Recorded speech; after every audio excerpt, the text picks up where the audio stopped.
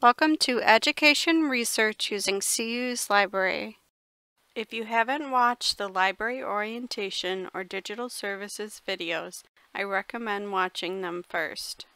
This video will cover where to search the library, how to search the library, and help with citations for your sources. Let's start with where to search. We'll cover three options, Primo, library databases, and websites. Primo is the library search tool and catalog. Choose Primo when you only need a few journal articles, need children's books or classroom textbooks, or are looking for curriculum materials or need a specific journal title. For scholarly journal articles, use the peer-reviewed and content type filters in Primo.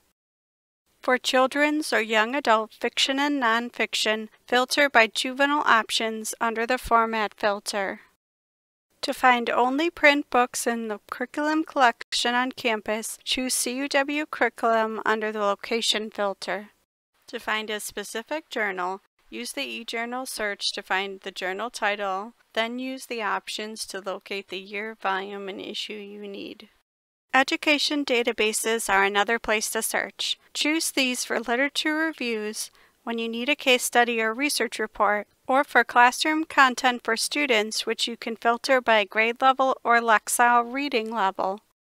For scholarly articles, filter your results by peer review and publication date based on assignment requirements. Then consider filters by grade or education level. The document type filter can help you find research reports or case studies. Finally, be sure to check where the research is from in the item details.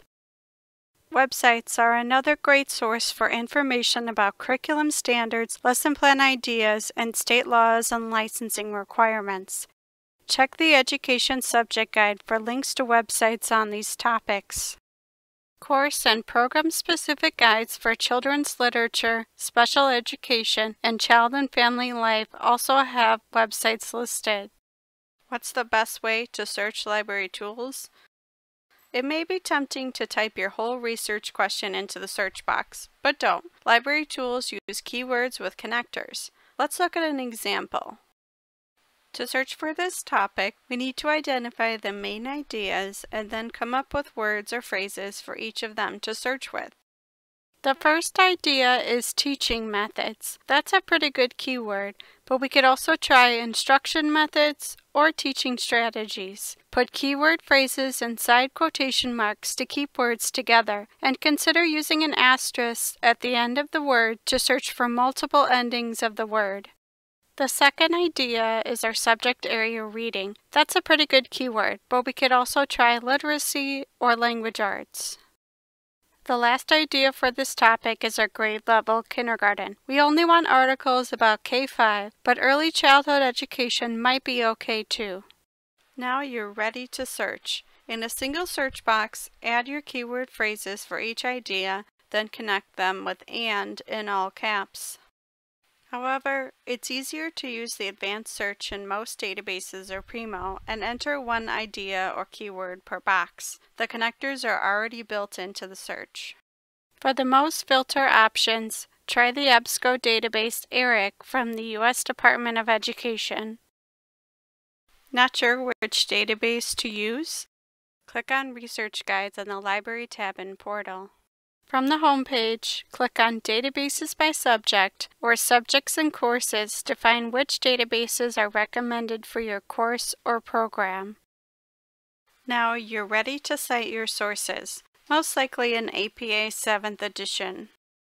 The good news is that Primo and most databases have built-in citation tools. But remember that these citations are made by computers, who do make mistakes. Luckily, our citation help page has an APA style guide to help you check those computer-generated citations as well as format your assignments, as well as information about Zotero, a software program we recommend for longer references lists. Good luck with your assignments and let us know if you have any questions. You can reach a librarian through chat, phone, or Ask a Librarian, our popular email form.